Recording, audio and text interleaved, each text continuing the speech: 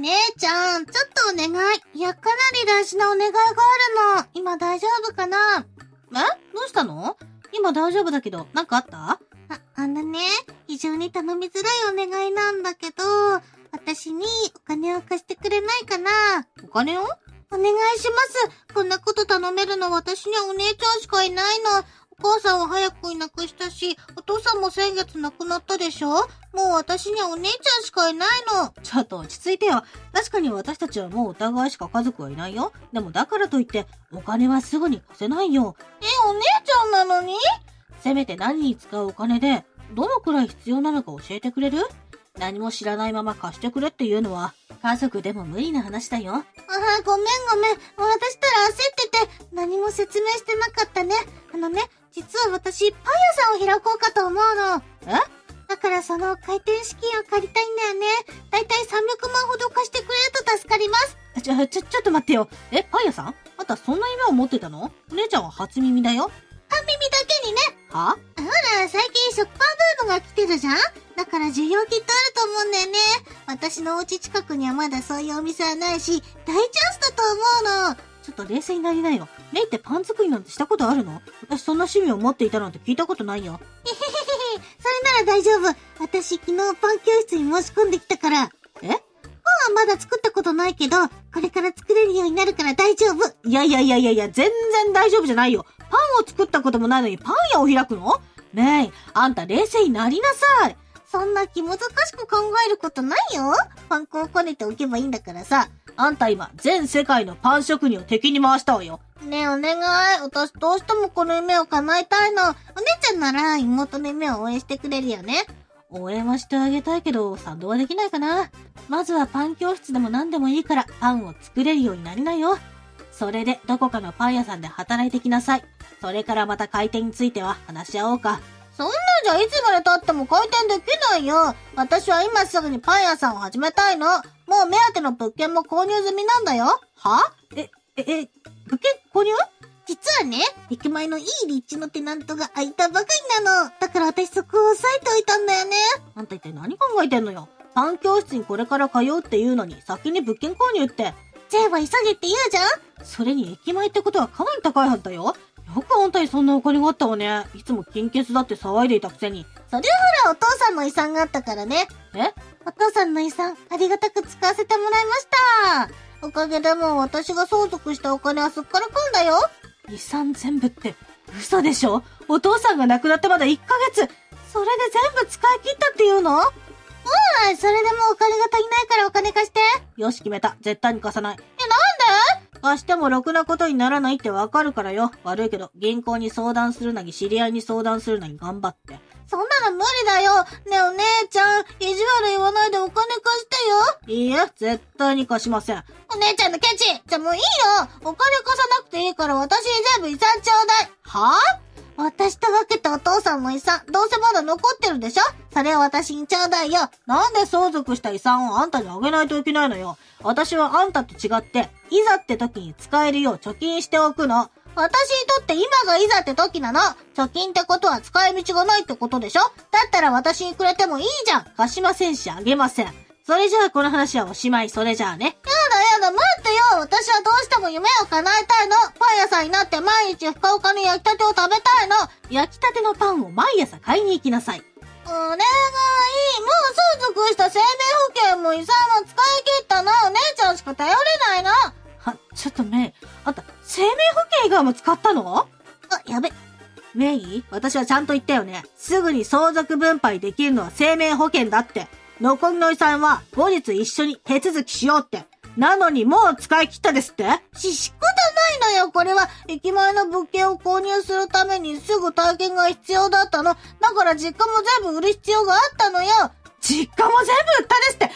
あんた、一体何考えてるのよ？そんな大事なことを姉に相談しないなんて。う、う、うるさい、うるさい、うるさい、うるさい妹は頼みも聞いてくれないくせにお姉ちゃん面しないでよ。私を怒っていいのは私にお金をくれた人だけだもん。はぁ勝手に遺産を全部使い切ったのは悪いと思ってるよ。でも私を怒るならその前にまずはお姉ちゃんの遺産をちょうだい。怒ってるんじゃなくて呆れてるのよ、このバカ妹。あんたはね、自分がどれだけやばいお金を使ってるか分かってるわけ？え？あんた、やばいお金に手を出しちゃってるんだよ。私はもう知らないからね。え、えー、やばいお金って何？私はお父さんのお家を売っただけだよ。どこもやばくないよ。普通のお金だよ。それ自体はね。でもよく言うでしょ遺産相続は、プラスもマイナスも全部相続だって。それってもしかして、お父さんには貯金もあったけど借金があったり？すでに貯金も使った私はまさかの借金を相続することになったとか？しかもその額がやばくて私は大ピンチとか？展開説明ありがとうね。全くもってその通りよ。嘘でしょ？そんなことってある？だからとりあえず生命保険だけ相続したんでしょうが、私の話は聞いてなかったの？生命保険は遺産相続対象外だから、これは二人で分けようねって。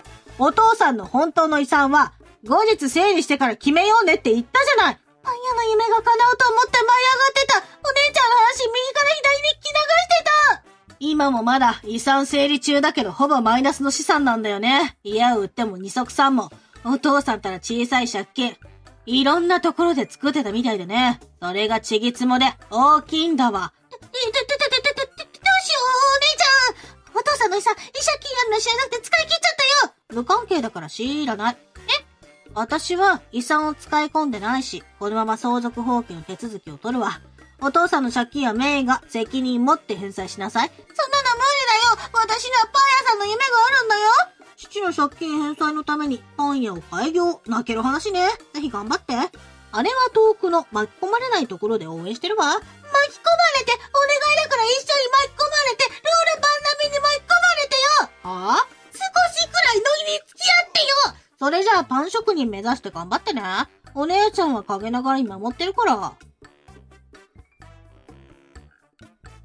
ちょっとメイ？今日届いた郵送物は一体どういうことかしら？なんであんたへの借金督促状が私のところに送られてきてるのよ？へへへ妹だけに借金を負わせようとしたからだよ。唯一の家族なんだから、こういうのは協力して頑張っていかないとね。メイが借金を背負ったのは勝手に遺産相続したからでしょ？事前に相談してくれればそうはならなかったのよ。うるさい長年は私の姉をやってるんだから、私の性格くらい分かってよ事前に相談しないだろうってことを見越して、先に止めるべき。それを怠ったお姉ちゃんが悪いんだからね。あんたの頭、カチカチのフランスパン叩き割るわよ。当然だけど、私は払うつもりないからね。自分で何とかしなさいよ。そんなこと知らないもん。借金関連はお姉ちゃんに丸投げしてやる。私は遺産を使い切って逃げるだけだもんね。追加含めて送り返します。え、督促状は全部受け取り拒否にしておいたから、すぐにあんたのところに戻ってくるわよ。その他の借金返済と一緒にね。ちょ、ちょっと待ってよ。え、その他の借金返済？な、何よそれ。実はね、お父さんたら連帯保証人もやっていたみたいなの。それで、金融会社から連絡あってね。全部メイの連絡先を伝えておいたわ。私の連絡先よ。なんてことしてくれたの？それぐらいお姉ちゃんが支払ってくれてもいいじゃんでも私相続放棄してるから支払わなくてもいいんだもん。借金返済の義務があるのはメイだけなんだよ。追加の借金返済なんて聞いてないよそんなの無理だよいやー、メイったら借金から逃げるために引っ越ししたでしょ。住所がわからなかったから郵送物で届いて助かったよ。消印を見る限り隣町いるみたいだね。い、行く金融会社の人もバカじゃないだろうし、すぐに見つかるでしょ遺産を使い切っておいて逃げようなんてそうさせないんだから。逃げようなんてしてないよお姉ちゃんに全部押し付けようとしただけだよ唯一の家族とは思えない悪の所業ね。ごめんな